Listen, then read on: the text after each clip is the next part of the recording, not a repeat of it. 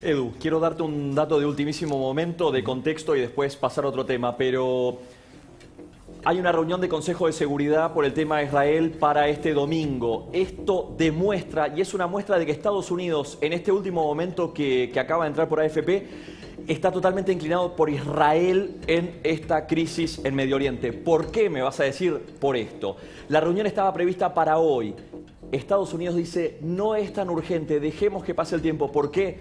Porque esta demora diplomática da más tiempo a Israel a mejorar su posición estratégica en el Medio Oriente. Esta es otra muestra clara de que Estados Unidos está defendiendo el derecho a defenderse de Israel. Por otro lado, me quiero quedar también en Estados Unidos, donde tenemos otros temas interesantes para el día de hoy. Primero, eh, la máxima autoridad sanitaria de ese país dijo si vos estás vacunado y la persona con la que te vas a encontrar está vacunada, pueden encontrarse puertas adentro sin el uso de barbijos. Eso es una nueva normativa que ha, o una nueva sugerencia, eh, perdón, eh, eh, nueva, bueno, sí, nueva recomendación que ha hecho el Centro para el Control de las Enfermedades de Estados Unidos y lo que estamos viendo ahora es parte de también una campaña que sería como la nueva etapa en la, en la vacunación estadounidense.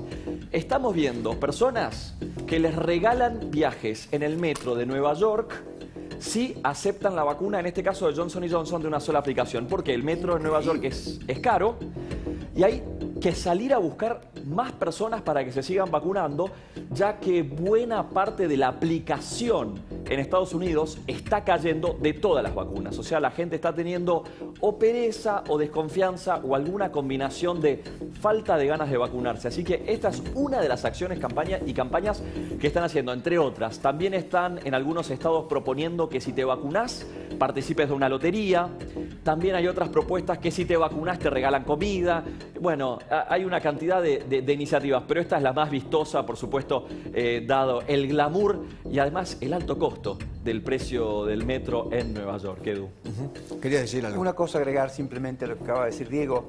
Eh, solo esto. Ah, eh, es cierto que en Estados Unidos el CDC acaba de, hace una semana, dar estas nuevas recomendaciones acerca de, bueno, vacunado con vacunado pueden estar en un espacio cerrado sin barbijo, vacunado con vacunado más gente que ha tenido COVID pueden estar en un espacio sin barbijo, digamos. Empiezan a articular situaciones o, digamos, a describir situaciones de gente que puede compartir espacios cerrados sin barbijo. Pero claro, siempre y cuando esté claro que hayan tenido las dos dosis de la vacuna, no una dosis, y eventualmente quien ha tenido COVID ha tenido un COVID con, digamos, un, final con PCR negativo, que es el, el gold standard de los, de los testeos. Motivo por el cual empieza a aparecer esto. Ahora, si ha tenido COVID y está al lado de una persona que no ha tenido COVID ni está vacunado, tiene que usar barbijo, ambos tienen que usar barbijo. Es bastante eh, complicada la historia, pero empieza a haber alguna confusión con estas directivas del CDC en Estados Unidos, porque hay gente que lo interpreta de un modo y gente que ya no quiere usar barbijo porque cree que el gobierno americano lo que está recomendando es no hacerlo.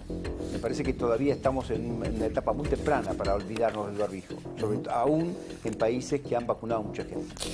Bueno.